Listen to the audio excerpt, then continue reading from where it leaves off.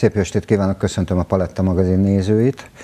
Nos, ezen a hétvégén jazz a nyárban, ugye azt megszokhattuk, hogy Székesfehérvár nem csak a királyok, hanem a zenevárosa, és nem csak a sport, hanem a jazz, és nyilvánvaló, hogy a királyi napok, illetve a királyi napok nemzetközi néptáncfesztivál mellett és a Fezem mellett a jazznek is helye van a palettán.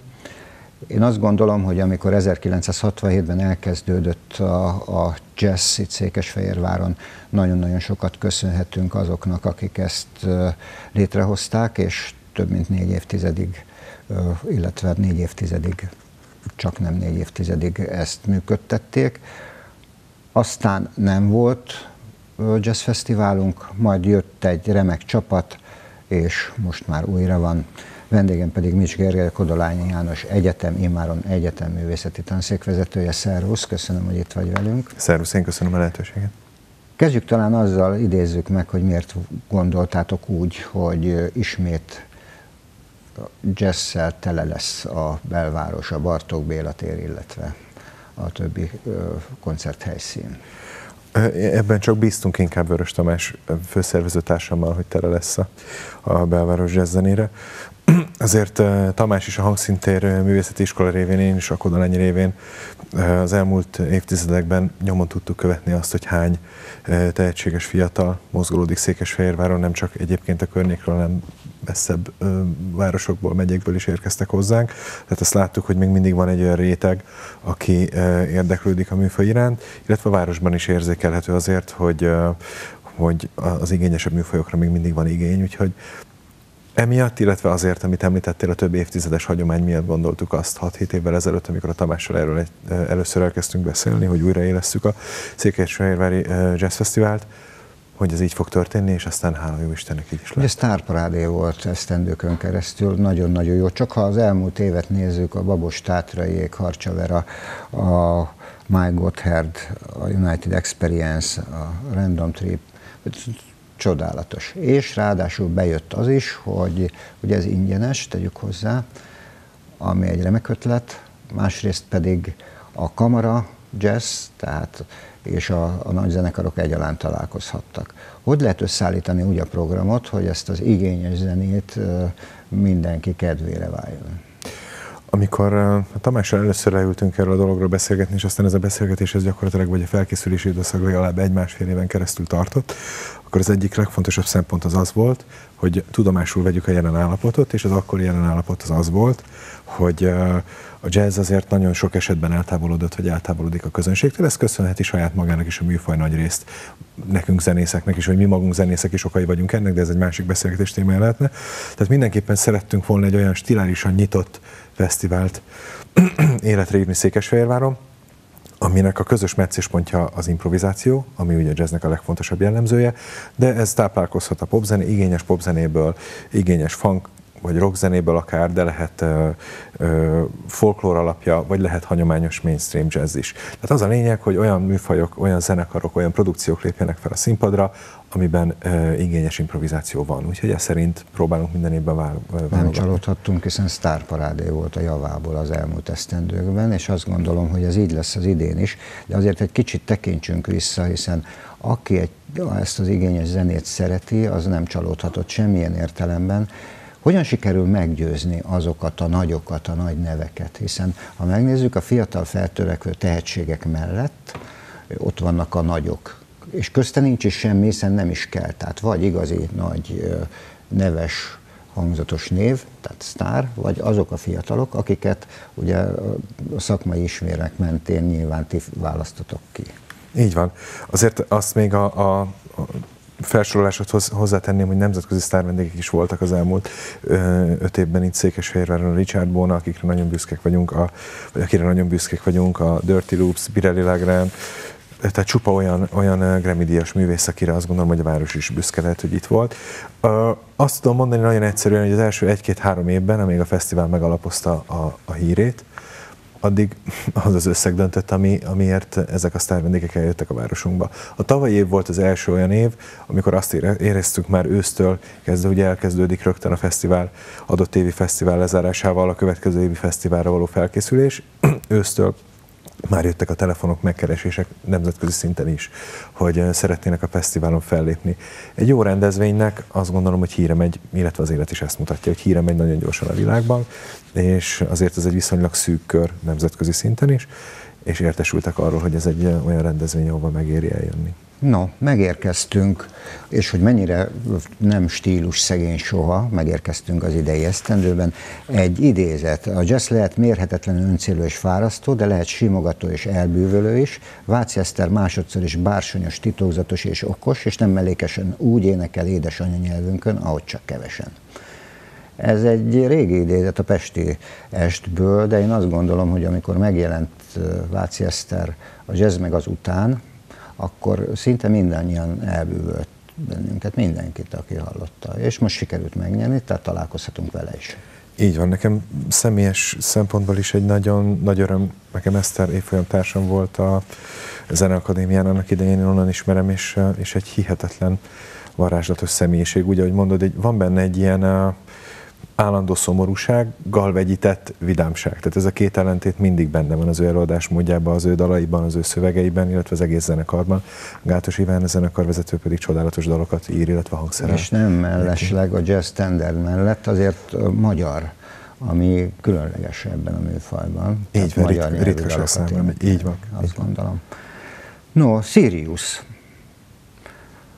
Ez egy zseniális csapat megint csak, amikor a Vidákovics, Ludányi Tamás, Tenfli Erik, Fónai Tibor, Benkó Ákost hallgatom, de ritkán teszem, ha sajnos, de akkor azt mondom, hogy ez megint egy nagyon finom jazz produkció.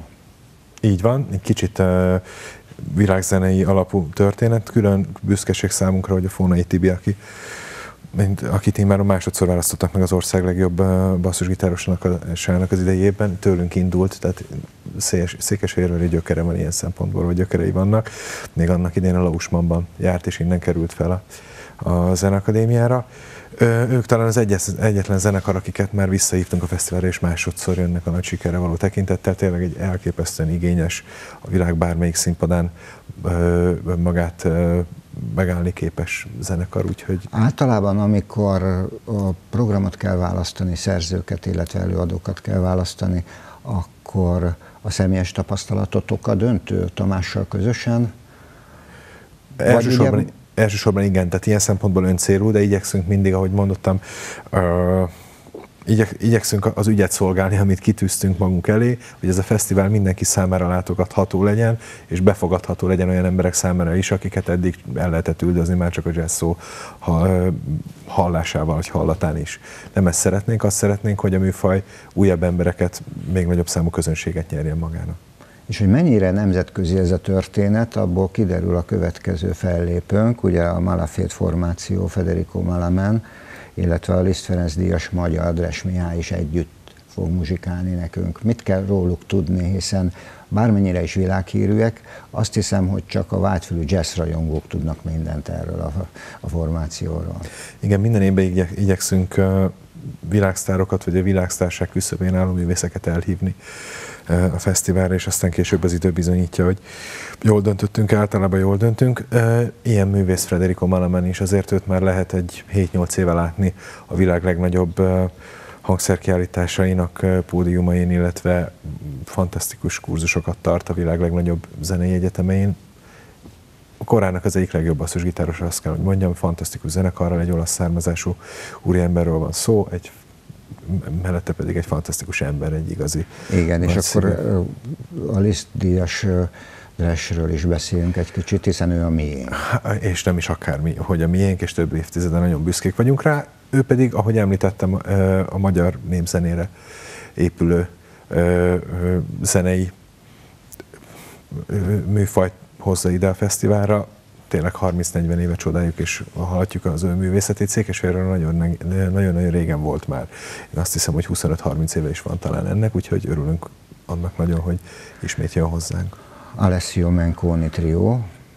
Ők pedig, ahogy szintén említettem, hogy minden műfaj képviselteti magát, abszolút mainstream jazz játszó zenekar formáció. Tehát akik szereti a swinget, szereti a bebopot, egy hihetetlen virtuóz és, és muzikalitással megáldott gitárművész, szintén olasz származású, kell arra figyelni. Egyébként még visszatérve a Melemenhez, a imént beszélgettem János Áccsal, Ács Jánossal, aki ismeri őt, és nagyra tartja. Ugye a 12-én lesz a muzika szakra, és ő fogja vezényelni ezt a Rossini kis ünnepi misét, és szintén olasz nemzetközi sztárénekesekkel, és a sajtótájékoztató után szóba került, hogy jazz, ő is kimegy egyébként, mert hihetetlen, de igaz, szereti az igényes jazz és látta nálam ezt a felsorolást, hogy ki minden készen lesznek olaszok, úgyhogy azt mondta, hogy körülnéz. Érdekes. Én is találkoztam vele egyébként, és beszéltünk erről. Úgyhogy... No, akkor ráadásul már tudod te is. Igen, igen, igen. No, hát ugye a Menkoni triónál hagytuk abba, de aztán jönnek még a Little G. Weevil, jól mondom? Így van. Így van. Abszolút egy, egy igazi, hamisítatlan amerikai, bár ugye ő, ő magyar származás után nagyon régóta kint él Amerikában, hamisítatlan blues zenét fog játszani. Tehát a nemzetközi blues kívás győztese, mi mást hozna, mint blues Így van. Egyébként, pontosan. hogy itt most már számtalan műfajt felsoroltunk a jazzen belül. Hogy kapcsolódnak egymáshoz ezek a műfajok? Van olyan jazzrajongó, aki minden evő? Vagy úgy állítjátok össze a programot, hogy mindenkinek jusson egy-egy nagy falat? Én inkább azt gondolom, hogy ez az utóbbi, hogyha a Tamásból és magamból indulunk ki, akik aktívan zenélünk, és azt gondolom, hogy eléggé jól ismerjük a jazz zene történetét, mi is minden evőnek mondjuk magunkat, de azért vannak preferenciák bennünk. És egyébként általában ezek a preferenciák változnak is. Életkortól függenek, napszaktól függenek, évszaktól függenek, nagyon sok mindentől függ, hogy az ember éppen mihez nyúl. Ö, azt gondolom, ugyanakkor, hogyha egy nagyvárosi vagy országos de mégis regionális rendezvényben gondolkozunk, akkor, hogyha továbbra is azt tartjuk fő szempontnak, hogy a nagy közönségnek szóljon egy ilyen rendezvény, már pedig annak kell, hogy szóljon, akkor a nagy közönséget semmiképpen nem a free jazz lehet mondjuk megfogni, vagy berántani a műfaj mellé, hanem egy kicsit populáris ö, oldaláról kell megmutatkozni, úgyhogy fontosak ezek a szempontok, és így állítjuk össze a fesztivál. Nincs kétségem felőle, hogy a Bartók Béla tér tele lesz, hát az egyértelmű. Ézum Ugyanakkor ott van nekünk a múzeumkert. Az egy teli találat, mondom én, hiszen aki a bensőséges hangulatot kedveli, az keresve sem találhatna jobb helyszínt, mint a Szent István Király Múzeum kertjében, az a belső hely, és az a kis színpad a Vintage dolls kezdődik kedden. Én azt gondolom, hogy ez megint egy olyan csapat, őket azért volt szerencsém valamelyest ismerni, aki a, ha szereti ezt a műfajt, akkor ott lesz. Így van. Egy könnyed, kedves, 30-as, 40-es évek Amerikáját megidéző öltözékben, megszólalásban, csomó mindenben megidéző formációról van szó, és egy igazi ö, könnyen nyáresti szórakozást Igen, ígérnek. hát be, ha bemutatkoznak, nem kell mindig a véresen komolyan venni dolgokat, bár a jazz az mindig komoly. Horváth Szintia Quintet róluk mit kell tudnunk. Fiatal tehetséges előadó, mi is várjuk őket, hogy említetted, vannak ugye a nagy öregek, nagy sztárok, illetve a fiatal tehetséges előadók, ők közéjük tartozik, én azt gondolom, hogy nem fognak csalódni azok, akik meg fogják őt hallgatni. És Sárik Péter trióval zárul, már legalábbis ott.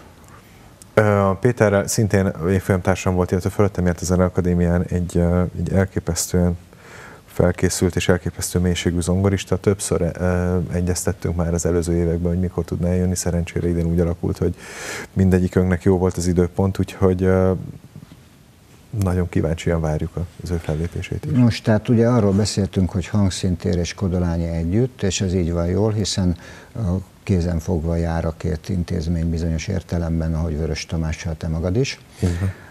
Egy majd a végén megismételjük, de azért most, ha már itt vagy, akkor hadd kérdezzem meg, hogy mennyit változik meg az életetek, az életed tanszékvezetőként azzal, hogy egyetemi rangot kapott a Kodolányi. Ugye hát, erre vártunk. Igen. Tehát érlelődött, nagyon sok minden feltételnek kellett teljesülnie ahhoz, hogy ez valóságos legyen. Ez egy álom volt először, sokan nem hittek benne. Hála Istennek azok, akiken ez múlt, tehát egyik oldalról döntéshozók, másik oldalról, akik előkészítették a főiskola egyetemi válását, hittek benne és tettek érte, és ez egy komoly szakmai kihívás és rendkívüli siker. Gratulálok, de mennyit változik majd a művészeti tanszék ezzel?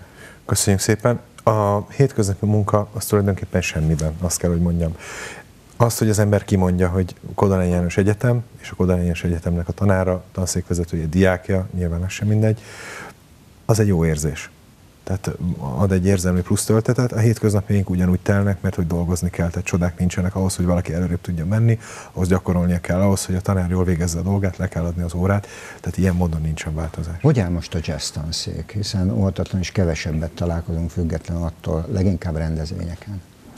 Ö, azt gondolom, hogy a, ugye tíz évesek voltunk idén, illetve most már ez a 11. év, amiben belekezdtünk, ö, megtalálta a helyét ezen a piacon. Az egyéni oktatás az mindig egy nehéz kérdés, illetve a művészeti oktatás különösen nehéz kérdés, főleg akkor, hogyha ennek az anyagi vonzatát nézzük, és mivel a Kodolányi János egyetem, majdnem főiskolát mondtam, még nekem is szoknom kell, a piacról él, és ide be kell fizetni a tandíjat annak, aki itt szeretne tanulni, ezért ez egy mindig nehéz kérdés, hogy, hogy a tehetséggondozás hogyan fér meg ezzel a fajta szemlélettel. Mi próbáljuk ezt összehangolni, és az évfolyamainknak a létszáma, ami 20 körüli évek óta, azt mutatja, hogy erre van igény, és amíg van igény, addig ezt nagyon szívesen csináljuk. Jó, köszönöm szépen. Akkor megerősítjük, hogy július 30-án és 31-én a Bartók Béla téren, illetve a Szent István Király Múzeum kertjében, illetve augusztust köszöntve szintén ezen a két helyszín lesznek. Hát kedves nézőink, a hétfőt mondom 30-át, tehát Little G. Reveal, hétkor a nagy színpadon, illetve tízkor pedig Dumbledore's Army, aztán a múzeumkertben Váci Eszter és Gátos Iván, illetve a Madis Shows fél hatkor, illetve fél kilenckor, aztán kedden hajrá. Én azt gondolom, hogy egy remek program lesz, úgyhogy mindenkinek azt javaslom, bár azt hiszem, hogy a jazzrajongókról azt tudnunk kell, hogy ők ragaszkodnak ehhez a zenéhez mindig és mindenkor. Ergő, köszönöm szépen, hogy megtiszteltél. Én köszönöm És akkor hajrá! Kedves nézőink, én pedig azt ígérem, hogy természetesen erről igényes műsorokat készítünk, és a Paletta Kulturális Híradóban, illetve a magazinban beszámolunk. Most pedig folytatjuk tovább, hiszen folytatódott a Harmonia Albenzis templomi koncertsorozat. Én már a 16. alkalommal rendezte meg az Alba Regia Szimfonikus Zenekar, és az első két nagy sikerű koncert után ahol az In Medias Brass fuvós kvintett, illetve Marosvári Péter orgona művész szerepelt a Szent Imre, illetve a Ciszterci templomban. Az elmúlt héten Miklós Erika, Kossuth és Liszt Ferenc díjas operaénekesünk, illetve egy nemzetközi hírű barátunk, a New Yorkban élő Karosi Bálont látogatott meg bennünket, illetve az Alba Régia Szimfonikus Zenekar szólistáival adtak elő egy nagy sikerű koncertet, szintén a Ciszterci templomban. Készült egy beszélgetés, természetesen zenével, ezt nézzük meg. Folytatódott az Alba Régia Szimfonikus Zenekar Harmonia Albenzis templomi koncert sorozata.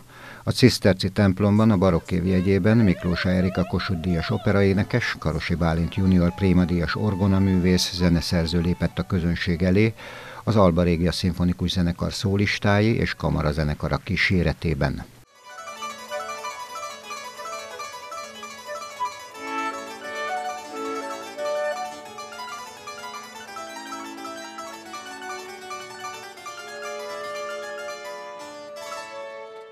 Valóban a Harmonia Albenzis nyári templomi koncertsorozatunk Székesfehérvári egyik legjelentősebb kulturális eseménye lett. Több mint másfél évtizede minden évben megrendezésre kerül.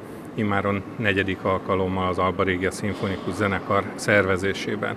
Azért is mondom ezt, hogy ez egy nagyon jelentős zenei esemény, mivel olyan sztár előadókat tudunk ide meghívni évről évre, mint Miklós Erika, vagy a múlt héten itt koncertezett az In Medias Brass fiatalokból álló részfúvós kvintet, de volt itt viola organista hangszer előző években, de volt Rákász Gergely, és lehet sorolni a, a, a sztár vendégeket. Az idei sorozat szintén nagyon nagy érdeklődés mellett zajlik. Két esemény már megtörtént. Az első koncert egy orgona hangverseny volt, melyet Marosvári Péter adott. Ő székesfehérvári származású orgonaművész. Majd ezt követ az In Medias Brass koncertje, ma pedig Miklós Erikát várjuk ide a templomba. A barokk emlékév Székesfehérváron lehetőséget nyújt arra, hogy előtérbe kerüljön a barokk zene ennek tükrében azt hiszem, hogy ma is egy csodálatos hangverseny vár az érdeklődőkre. Igen, az idei sorozatunkban van kettő darab koncert is a barokk korba repíti vissza a hallgatókat. Ugye a múlt heti In Medias Press koncert és ez a mai koncert. Ma Johann Sebastian Bach két jelentős művét fogjuk előadni, a harmadik Brandenburgi versenyt, illetve egy kantátáját, amely szoprán szólóra és zenekarra íródott, az Ich habe genug című kantátát, illetve Karosi Bálint, aki a mai, mai este vendégművésze, szintén zeneszerzőként is tevékenykedik, és ő neki Vivaldi nyomán készült koncertóját is előadjuk.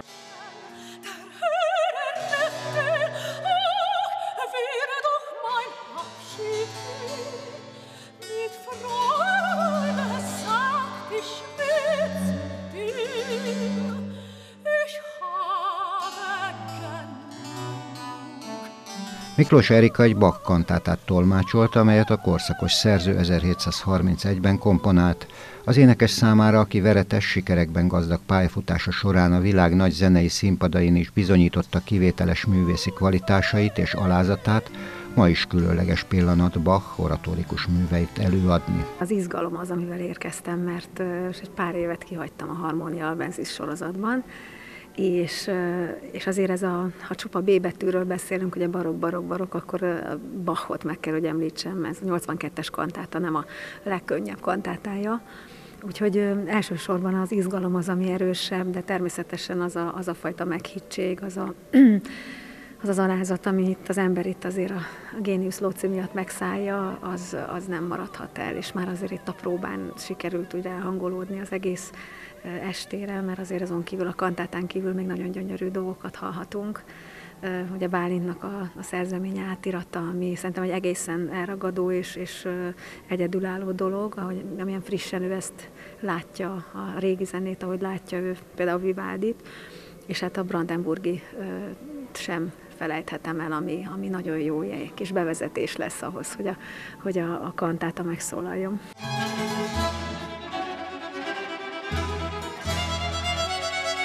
Karosi Bálint orgona játékával varázsolt, Vivaldi stílusában bemutatott saját művének egyedi volta, felemelő példa a New Yorkban élő fiatal művész elhivatottságára. Nagyon örülök, hogy itt lehetek, és egy ilyen csodálatos helyszínen adhassuk elő ezt a há- három darabot, a mai programot. Tényleg ez a templom akusztikailag is nagyon, nagyon méltó helyszín, és, és dekoratívan is nagyon jól érezzük magunkat itt a templom közepén és a mai programban két Bach és egy saját kompozíció fog elhangzani. Ugye nagyon is jól tudjuk, hogy ön rendkívül kreatív, és híve az improvizatív megoldásoknak is. Én azt gondolom, hogy Bach és Handel így együtt egy egészen kiváló estét ígér. Igen, hát Bach is kiváló improvizatőr volt, főleg az orgonán.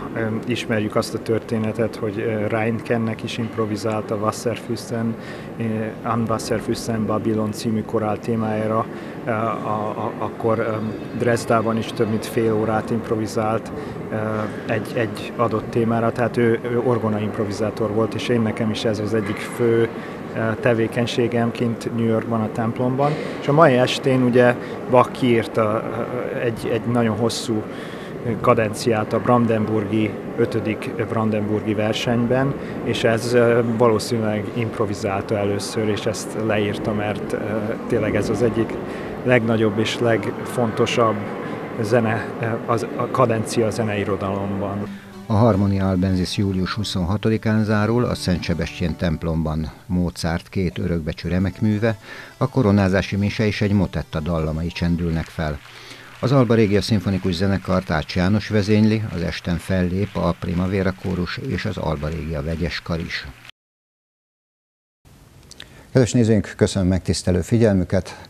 Találkoznak Látrányi Viktóriával a jövő héten ugyanebben az időpontban ugyanitt. Viszontlátásra!